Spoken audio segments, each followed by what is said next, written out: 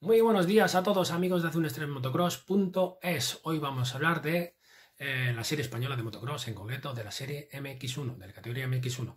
Como todos sabemos, José Antonio Butrón pasa de KTM España a KTM TRT.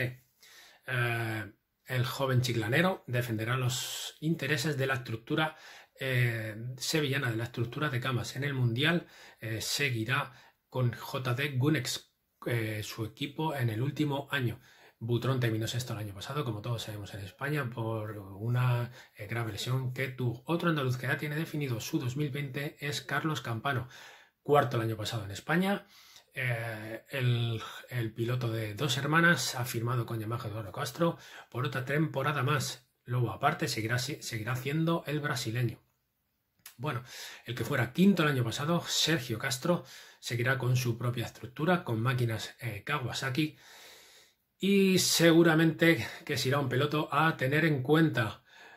Ahora hablaremos de Iker Larrañaga, el actual campeón de MX2.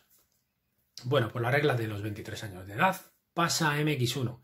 El rookie será un piloto que seguramente dará mucho que hablar. Eh, en el Mundial ha fichado por MGR Team. Nos queda hablar de Ander Valentín y Neil Arcarons.